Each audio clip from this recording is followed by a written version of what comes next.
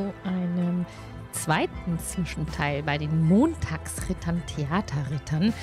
Ähm, es gibt ein Update nochmal und zwar nach einer kürzeren oder längeren Pause, wie man es nimmt, werden nun die Theaterritter fortgesetzt. Und zwar werden wir jetzt wieder regelmäßig montags ab 20 Uhr live bei Twitch spielen und entsprechend zeitnah gibt es dann auch die Videos hier. Zum Hintergrund, der eine oder andere wird es ja auch mitbekommen haben, wir mussten, wir hatten schon äh, länger Schwierigkeiten mit Terminfindung etc. Und dann haben wir hier und da wieder pausiert. Ähm, und ähm, die ganze Kampagne angefangen vor zweieinhalb Jahren mit ähm, noch etwas anderen Abenteuern, aber zumindest mit der Gruppe, äh, hat sich jetzt, wie gesagt, zweieinhalb Jahre hingezogen und äh, wir mussten dann. Es hat sich bei dem einen oder anderen ein bisschen was verändert und leider musste Thorsten, unser Meister, ähm, erstmal äh, den aktiven Teil als Meister äh, aus persönlichen Gründen niederlegen. Und ähm, ja, so haben wir erstmal überlegt, was wie wir machen, um wie es weitergeht oder ob wir jetzt hier mittendrin abbrechen. Wie es so ist, wo sich eine Tür schließt, öffnet sich auch ein Fenster oder so. Hat äh, sich jemand gemeldet, der uns angeboten hat, als äh, Meister einzuspringen und mitten im Abenteuer äh, zu übernehmen und das blaue Buch äh, für uns äh, als Meister mit unserer Gruppe eben zu Ende zu spielen. Und äh, ja, ich freue mich oder wir freuen uns, dass ähm, das geklappt hat. Ähm, und weil es ja doch recht ungewöhnlich, also wenn eine Gruppe mal einen Spieler oder ähnliches wechselt, ähm, kommt das ja öfters vor, dann lernt man den Spieler ja meistens im Spiel kennen. Äh, jetzt ist es so, dass tatsächlich der Meister äh, gewechselt hat. Die Gruppe bleibt.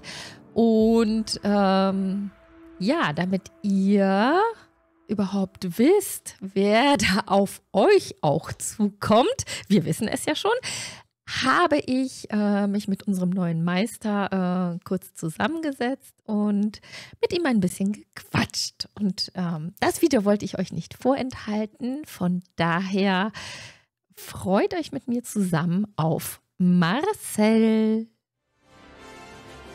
Hallo Marcel und herzlich ja. willkommen hier ähm, Hallo, bei uns bei den Theaterrittern. Ja, fantastisch. Vielen, vielen Dank. Äh, freue mich sehr, sehr, dass ich dabei sein darf. Ja, wir freuen uns auch auf jeden Fall. Ähm, es ist ja nicht ganz so einfach, mitten im Abenteuer, mitten in einer Kampagne als Meister dann äh, so eine Gruppe zu übernehmen oder einzuspringen. Ähm, aber du hast es angeboten und ähm, ja, da haben wir dann äh, uns direkt kennengelernt und wir freuen uns auf jeden Fall sehr, dass es geklappt hat. Nee, super. Hat sich dann super schnell auch ergeben, dass, dass das gepasst hat. Ne? Und ich, ich hatte das Glück, sag ich mal, ja, dass ich das Abenteuer schon kannte, dass ich es mal mit einer anderen Gruppe geleitet hatte. Ähm, und klar, jede Gruppe hat einen eigenen Hintergrund dann auch im Abenteuer, hat, ist anders mit den NSCs umgegangen oder mit den Erlebnissen. Ich glaube, da haben wir da auch viel noch miteinander geredet. Ähm, fand ich aber dann auch eine super interessante Herausforderung, jetzt das nochmal aus einem anderen Winkel anzugehen und da reinzugehen. Nee, ist toll. Ja, also unser Glück auf jeden Fall. Wenn du magst, kannst du gerne ein bisschen was über dich erzählen. Marcel ist auf jeden Fall schon mal dein Name. das ist mein Name, das kann, so, so viel kann man schon mal verraten, das ist nicht geheim. Ja, ähm, ja ansonsten ähm, über mich, ich spiele jetzt schon ziemlich lange Pen and Paper, jetzt nicht immer durchgehend zum Beispiel. Ich habe hab auch mal wieder paar Jahre hin und wieder pausiert, aber schon seit im Grunde ja um die 20 Jahre mehr oder weniger spiele ich schon Pen and Paper Systeme, aber auch nicht unbedingt immer nur die gleichen, sondern mal ist es das ein paar Jahre, mal das. Ähm, jetzt seit ja, seit zwei, drei Jahren eigentlich wieder schwerpunktmäßig DSA. Ja. Das heißt, schon lange Zeit bei Pen Paper dabei. Wie lange spielst ja, du ja. DSA schon? Auch schon damals DSA, mit angefangen oder hat sich das erst in den letzten Jahren ergeben? Ähm, nee, das war ganz lustig. Ich habe praktisch DSA, ja, so ja, wo ich so um die 16 war, glaube ich, 15, 16 gespielt. Das, da war, glaube ich, noch die zweite Edition damals. Und äh, ja, müsste die zweite gewesen sein, ich mich erinnere. Und dann habe ich echt eine Weile mit DSA pausiert, bis dann, ja, bis ich mit einem früheren Schulfreund dann wieder praktisch auf den Zug gekommen bin, hey, wir könnten mal wieder DSA anfangen. Und dann haben wir uns dann die fünfte Edition damals geschnappt und haben tatsächlich wieder angefangen und haben wir wieder jetzt, äh, ja, seit ein paar Jahren schon wieder gespielt am, am Stück. Also. Da so kamen wir zurück zum Anfang praktisch. ja, da ist es ja. mir tatsächlich so ergangen genau. wie mir. Ähm, ich habe auch ganz früh DSA, keine Ahnung, welche Version gespielt und dann tatsächlich zurückgekehrt mhm. zu DSA 5. Ähm, aber ich höre schon draus, du spielst auch andere Systeme oder hast andere Systeme ja. gespielt. Hast du da so Systeme, die du gerne gespielt hast? Ja, also es haben sich dann so mit der Zeit, man, man probiert ein paar aus mal, ob es einem liegt, ob es einem nicht liegt, ähm, ob man auch die Leute dazu findet, ist auch immer die Frage. Selbst wenn man ein System interessant findet, man hat keine passenden Leute dafür, ist schwierig. ähm, aber was sich so rauskristallisiert hat in, im Laufe der Jahre jetzt außer DSA war viel Shadowrun haben wir gespielt. Ähm, schwerpunktmäßig die fünfte Edition damals, die ich eigentlich noch immer ganz gut finde. Und auch Call of Cthulhu dann ein bisschen später. Ähm, und dann auch einiges gespielt. Und was wir auch lange gespielt haben damals, war Dark Heresy sogar eine Zeit lang. Also ich weiß nicht, ob du das kennst. Das, das kenne ich War tatsächlich gar das ist Warhammer 40.000 äh, ah. Rollenspiel. Mhm. Da gibt es da gibt's eine ganze Reihe davon und das ist eins davon gewesen. Und da spielst praktisch ja so ja, Agent der Regierung und muss praktisch irgendwelche Ketzereien oder Kulte aufdecken und sowas. Also es ist, ja, es ist ein bisschen Cthulhu in, in so einem High-Science-Fiction-Setting eigentlich. Ja. Alles auch ganz cool gewesen. Aber jetzt bei DSA eigentlich auch schon wieder ziemlich zufrieden, muss ich sagen. Ja, passt. Also DSA 5 passt auch bei. Passt, passt gut, auf jeden Fall. Gut, wir sind ja nun auch, wir spielen ja jetzt die Theaterritter ähm, ähm, in DSA 5 Version und das Ganze in Aventurien natürlich. Deshalb komme ich jetzt mal direkt auf Aventurien zu sprechen. Hast du eine Lieblingsregion in Aventurien? Also das hängt immer ein bisschen mit den Abenteuern zusammen, die es dafür gibt, muss ich ehrlich sagen, weil die natürlich das Setting jeweils ja ausschmücken und auch ein bisschen zu dem machen, wie man es enger kennenlernt. Ja. Ich, ich finde es ist also eine Seite darüber, was zu lesen, auch in der Regionalspielhilfe oder so, was auch unglaublich interessant ist, aber es ist nochmal anders, wenn man spielt. Also wenn man so ein Abenteuer oder eine längere Kampagne mal gespielt hat in einer bestimmten Gegend, das prägt einen irgendwie. Also ich konnte zum Beispiel im Bornland jetzt früher nicht so viel anfangen, bevor ich mal die Theaterritte gespielt hatte. Ähm, da hast du wirklich dann einen ganz anderen Bezug dazu und finde ich es eine, eine, höchst interessante Region. Ähm, ich finde aber auch persönlich ganz, ganz toll Aranien. Hat, hat, mir immer sehr, sehr gut gefallen. Ist so ein ganz besonderer Flair, einfach weil so viele verschiedene Kulturen miteinander mischt. Und aber auch Torwal und ähm, was ich auch gut fand, war, gab es noch Torwal und ja, ich muss sagen, Horas Reich ist halt auch immer gut, wenn du sowas wie eine Intrige spielen willst. Ja. Also auch nicht schlecht. Aber, aber ich glaube, ich würde mich sogar auf Aranien fast festlegen, wenn ich, wenn ich mir eine Region aussuchen müsste. Ja. Also Aranien, das heißt. Äh, wenn Aranien, ja, ja. Dornenreich wäre wahrscheinlich dann die richtige Regionalhilfspiel. Spielhilfe dann dazu. Ähm, genau, genau. Du spielst auch sicherlich und meisterst nicht nur, auch wenn wir dich hier jetzt erstmal als Meister kennenlernen werden. Hast du einen Lieblingscharakter in DSA? Ich muss ehrlich sagen, ich habe ich hab meistens gemeistert. Also ich war jemand, ich, bei mir ist wirklich 90% meistern, 10% vielleicht spielen und das dann meistens eher einzelne Abenteuer oder One-Shots oder so, wo ich mal spiele. Ähm, ja, Kara, den ich, den ich mal ganz, ganz gern gehabt habe.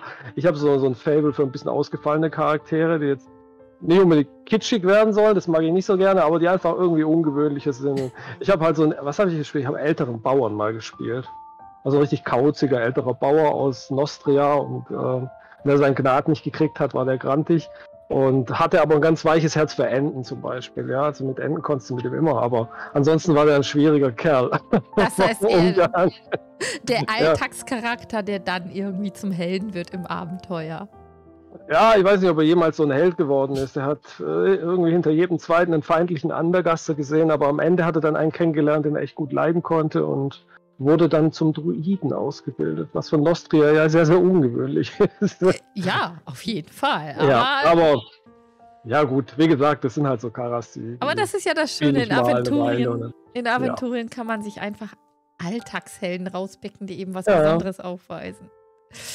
Ja, man hört es ja schon, du sagst ja 90% meistern und 10% ja. gespielt. Meisterst du an sich lieber oder meisterst du einfach so viel, weil Meister so selten sind? Nee, ich meister eigentlich schon gerne. Also ich muss sagen, es macht mir, glaube ich, am meisten Spaß. Kann dir gar nicht so genau sagen, warum das so ist, weiß nicht. Vielleicht liegt es am Gottkomplex, man weiß es nicht genau. nee, ich, ich, ich glaube, ich mag das einfach, dass auch so, so eine Kampagne auszuplanen oder auch mal so am Brett zu sitzen und mir zu überlegen, was könnte passieren, was sind die Handlungsstränge, die jetzt möglich sind und auch dann zu sehen, was passiert und, und wie es dann anders läuft, als man gedacht hat und es anzupassen. Ich finde es einfach irgendwie, finde ich faszinierend und toll, ja. Also macht mir unheimlich Spaß. Du bist also ein, ein äh, Geschichtenplotter, jemand, der gerne im Hintergrund ein bisschen plant und dann natürlich gerne auch sieht, was passiert. Denn ich sage immer, man kann als Meister äh, zehn Möglichkeiten durchplanen und die Spieler entscheiden sich dann für die elfte. Das ist richtig, das ist richtig. Das, aber du, du musst natürlich trotzdem vorplanen, weil ohne Planung reingehen bringt es auch nichts. Ne? Ja. ja, aber es ist schön, wenn man um, schon mal zehn, zehn, zehn Möglichkeiten ja. dann hat, die man ausschließen kann. Das auf jeden Fall. Nee, aber finde ich gerade interessant und ich finde es auch wichtig, dass man, oder finde ich gerade das Besondere an auch diese, dieser Art von Spiel natürlich, dass man da die Möglichkeit hat, das völlig selber zu gestalten, auch wenn es das Abenteuer nicht unbedingt so vorgesehen hat. Das, das unterscheidet es ja von einem linearen, eher linearen Videospiel oder so, wo du halt doch gebunden bist in deinen Aktionsmöglichkeiten, selbst wenn sie relativ weit sein können, aber das, das hat natürlich Pen and Paper schon als großen Pluspunkt. Ja, weil es Menschen sind, die ja. einfach reagieren. Es, es, mu es muss nicht vorprogrammiert sein. Es, genau. ähm, ne, man, man, kann spontan reagieren. Das heißt, ähm, mit viel Erfahrung als Meister bist du dann auch durchaus äh, zu spontanen Reaktionen ähm, mit Aktion und Reaktion äh, offen für als Meister. Bin ich offen für. Ich, ich weiß nicht, ob ich es immer so perfekt hinkriege, wie man sich das natürlich wünscht. Das ist manchmal schwierig. Ich glaube, ich glaub, das ist je schwieriger, auch je, je komplexer natürlich das Szenario ist. Wenn du jetzt irgendeine größere Kampagne im Hinterkopf hast, ist es anders als ein One-Shot. In einem One-Shot kannst du eher mal alles umbiegen zwischendrin, als in der Kampagne, wo du sagst, die sollte eigentlich mit irgendwas weitergehen, was ich jetzt nicht kaputt machen darf, ne? Oder, oder jemand, der nicht sterben darf, oder ja. ein NSC, den ich jetzt nicht vollkommen vergraulen darf. Oder da gibt es also Anknüpfungen, die sind schwer zu setzen oder schwerer als andere. Ja. Und ja, da ist schon eine Herausforderung manchmal, aber ich finde gerade die großen Kampagnen machen am meisten Spaß. Ja, da muss man dann doch vielleicht die Gruppe ein bisschen ja. schubsen. Das ist mir ein, ähm, am Anfang, als ich mal eine Kampagne gemeistert habe, nicht ganz so gut gelungen, denn die Gruppe machte plötzlich, was sie wollte und waren ganz woanders, als ich sie haben wollte. Ja, naja, so wurden dann einige Zwischenabenteuer, bis ich sie wieder auf den Weg gelenkt hatte, daraus. Passiert. Was ist für dich insgesamt in einer guten Session, also was ist dir wichtig, wo du sagst, das war eine gute Session am Ende? Also sowohl als Spieler als auch aus Meistersicht, das ist jetzt äh, nicht wirklich relevant, sondern allgemein einfach. Finde ich, gibt es verschiedene Aspekte. Ich finde, einerseits finde ich es wichtig natürlich, dass jeder Spaß hat an dem Abend, dass auch jeder einbezogen wird. Ähm, es Manche Spiele sind halt von Natur aus so, dass sie immer sehr nach vorne preschen. Macht es den Meister auch ein Stück weit einfach natürlich, ja. ähm, gibt auch Spiele, die sind halt eher, sage ich mal, reaktiver oder halt ähm, mehr introvertiert. Ähm, da, da musst halt mal auch ein bisschen vielleicht die Chancen bieten, dass jemand, dass jemand da auch was hat, was ihn jetzt besonderer interessiert oder wo er auch mal dann halt mehr reingeht. Ähm, Finde es aber auf der anderen Seite auch wichtig, jetzt rein aus dramaturgischer Sicht vom, vom Meister her, äh, ein Stück weit in der Handlung voranzukommen. Ich finde es schwierig, wenn man zu lange stagniert, weil man dann irgendwann nicht mehr genau weiß, wo, wo, warum sind wir eigentlich hier. ja. ähm, und, und auch jetzt besondere Momente zu schaffen, finde ich ganz, ganz wichtig. Ähm, und das ist nicht immer einfach. Also du musst die Spieler irgendwo auch überraschen, du musst die Spieler herausfordern ähm, und den Spielern auch was bieten, was sie so noch nicht kennen, auf eine Art ähm, um auch ein bisschen zu verhindern, dass zu viel Routine sich einschleicht. Das finde ich, fand ich immer ganz wichtig. Also Manchmal Aha. überraschen, manchmal ein bisschen pushen. Da muss mal was passieren, wo man als Spieler außer, uh, das, das überrascht mich, das kenne ich jetzt noch nicht so. Oder äh, was mache ich jetzt? Ja, also ja. Damit äh, kriegt man auf jeden Fall immer wieder die Aufmerksamkeit des Spielers zurück. Aber ja, du hast recht. Wenn, wenn die Spieler sich fragen, wenn man so ein bisschen stagniert, was mache ich eigentlich? Was macht, macht überhaupt mein Charakter eigentlich hier? Ich gehe nach Hause. Ähm, ja. ja, dann, dann ist es, es ist der Moment, wo auf jeden Fall irgendwas passieren sollte. Denn ähm, dann ist der Charakter ja nicht mehr involviert und dann äh, ja. es stellt sich auch ganz schnell Langeweile beim Spieler, nicht nur beim Charakter, sondern beim Spieler ein. Ja, das erwähnst du auf jeden Fall einen wichtigen Punkt. Ähm, ich will jetzt auch gar nicht so viel dich ausfragen oder so viel quatschen. Ähm, was mich noch interessiert, hast du schon online oder nur offline gespielt, Tischrunden oder ähm, einfach alles bunt gemischt bis jetzt? Also wir haben früher natürlich, wo wir Rollenspiel gespielt haben, haben wir eher am Tisch gespielt, einfach weil es die, die technische Möglichkeit noch gar nicht so gab jetzt heute. Ähm, ich habe jetzt noch nie im, im, Stream oder so gespielt bislang. Das ist jetzt auch Neuland für mich, da auch bisschen Geduld haben, wenn es dann häufig oder wenn die Technik jetzt nicht immer ganz perfekt auf meiner Seite ist, ist einfach noch kommt jetzt erst. Ähm, aber was wir schon eine ganze Weile machen eigentlich jetzt seit ein paar Jahren ist, dass wir über Online spielen, also dass wir wirklich mit Kamera und Ton und ähm, wir haben jetzt auch bei Foundry dann äh, schon schon eine ganze Weile gespielt, dass wir dann virtuellen Spieltisch haben, wo wir virtuell würfeln können. Ähm, einfach aus dem Grund, weil oft ist es so, entweder die Leute mit der Zeit geh beruflich mal woanders hin ähm, und du willst deine Spielgruppe jetzt nicht auseinanderreißen natürlich, dann haben wir halt auch schon gesagt, ja okay, dann spielen wir online, weil da kann jeder teilnehmen, egal wo er ist. Ähm, hat auch immer eigentlich ziemlich gut funktioniert. Und was natürlich auch ein anderer Punkt ist, ist auch ein Stück weit Bequemlichkeit, bin ich auch ehrlich. Es ist einfacher, wenn, wenn du halt von der Arbeit kommst und dann am Abend dann endlich ein bisschen Ruhe einkehrt im Haus, ja, dass du dann einfach nur einen Rechner anmachen musst und du kannst anfangen zu spielen. Ja. Und wenn du auch fertig bist, machst ihn aus und bist fertig. Du musst auch nicht noch eine Stunde nach Hause fahren oder so. Ja, also ja, online hat definitiv seine Vorteile. Ja. Also ich finde Tischrunden super toll. Und wenn man sich irgendwo mal trifft oder mal ein Wochenende zusammen verbringt und dann ein bisschen Pen Paper spielt, finde ich das super klasse. Aber regelmäßig vor Ort zu spielen, ist mit Familie, Beruf und Strecken etc., wie du sagst, einfach fast unmöglich. Und daher sehe ich ähm, in Online einfach das Potenzial, überhaupt spielen zu können. Mhm. Mhm. Und ähm, das hat sich ja auch in den letzten Jahren sehr stark entwickelt. Foundry hast du erwähnt. Ähm, ja. ja, an die Zuschauer. Wir werden auf Foundry umsteigen, jetzt bei den Theaterrittern. Wir hatten vorher so ein bisschen Roll20 genutzt. Jetzt werden wir versuchen, ein bisschen Foundry mehr einzubinden. Bleibt immer noch sozusagen im Hintergrund als Nebenspieleffekt, um eben so ein bisschen äh, Bilder, Mappen und Würfeln werden wir auch in Foundry. Ähm, genau. Ja, ähm, vom Stream brauchst du, glaube ich, keine Angst zu haben. Also äh, an die. Das, das, Video ist jetzt exklusiv hier für YouTube, aber wir werden ähm, wie gewohnt live spielen, immer montags ab 20 Uhr bis circa 23 Uhr. Natürlich kann auch mal ein Montag ausfallen, aber geplant ist jetzt erstmal wieder wöchentlich äh, das blaue Buch äh, sozusagen fortzusetzen und äh, zum Ende zu bringen. Das heißt, ja, habt ihr schon mitgekriegt, ähm, es geht weiter.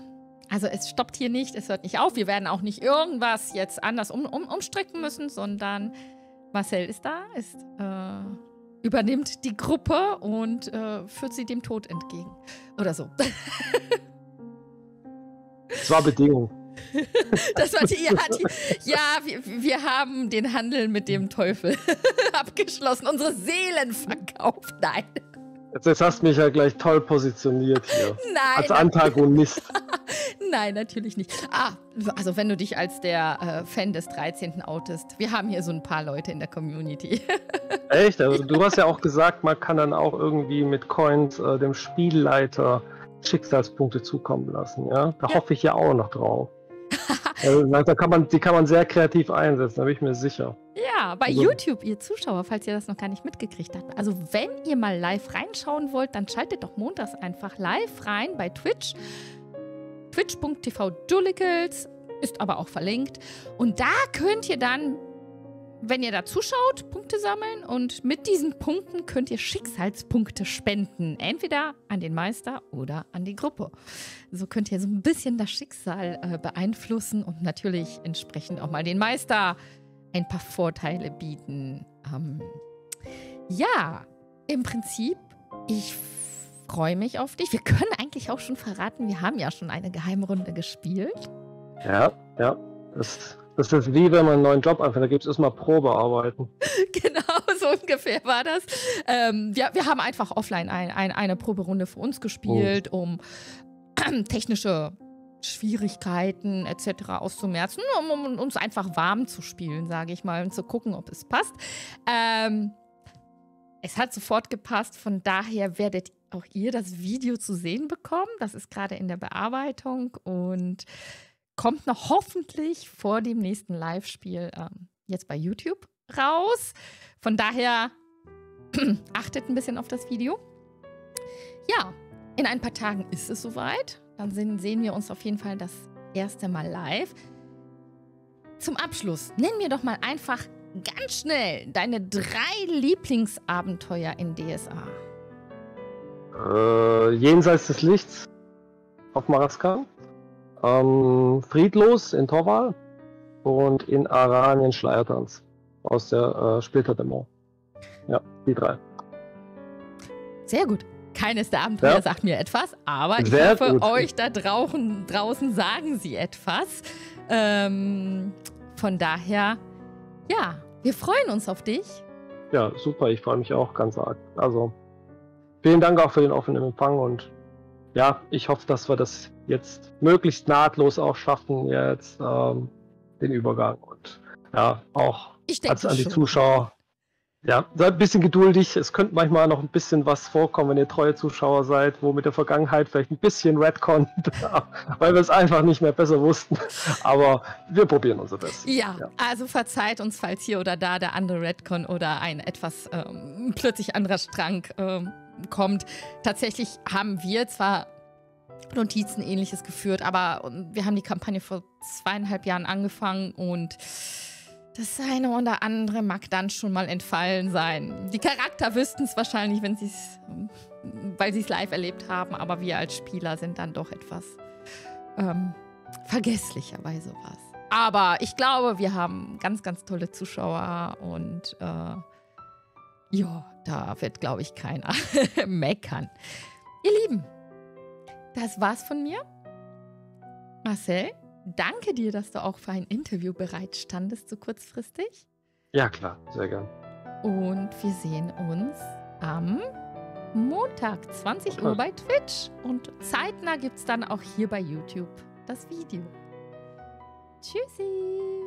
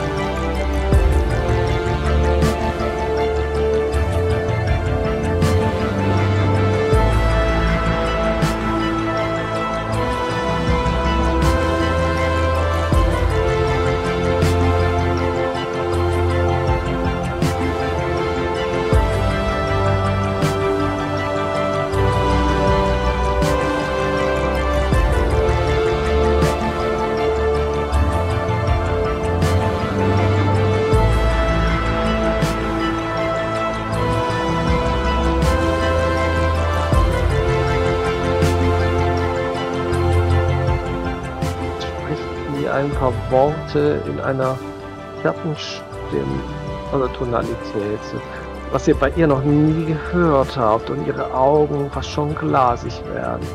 Sagt zu euch, ehrt die Traditionen, indem ihr sie vergesst. Das Leben ist der Güte höchstes Nicht, nicht die Väter, sondern die Mütter werden sie